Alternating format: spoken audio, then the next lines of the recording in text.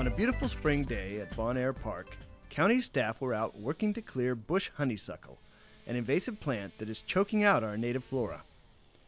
The threat of invasive plants disrupting our natural ecosystem is one of the biggest issues the county faces in trying to restore the Four Mile Run watershed. But talented as they are, county staff couldn't clear all this by themselves. Fortunately, they have help in the form of a dedicated young team of AmeriCorps volunteers. Um, this crew has been incredible. They've cleared acres and acres of land very quickly. It did, did not take very long for them to get on board. They jumped right in, very energetic, very motivated. It didn't take us a lot of time to train them, and once they're trained, they're just off and running on their own and clearing areas much faster than anyone could possibly expect us to do with just the one field technician that we've worked with for the last five years. My degree was in environmental science, and I was looking for something after I graduated college that was environmental related. And a lot of my friends are in AmeriCorps, and they told me about it, so um, I found it off the state volunteering website.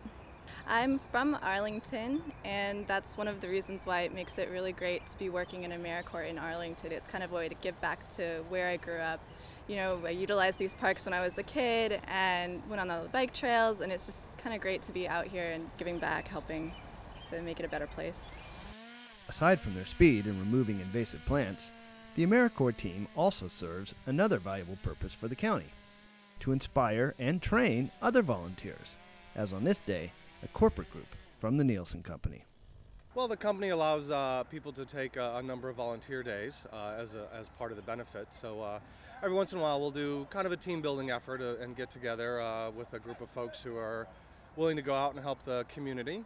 It's a great team building exercise, especially uh, you know working outside with the Parks Department here because it's a little physical labor, and a lot of us are in our offices all day, so it's, it's a good opportunity to, to uh, come out. And if you get lucky with the weather, it's a beautiful day.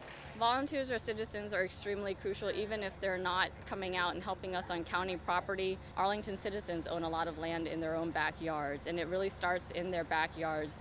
Uh, a lot of times, what we get into the parks is actually coming from someone's home.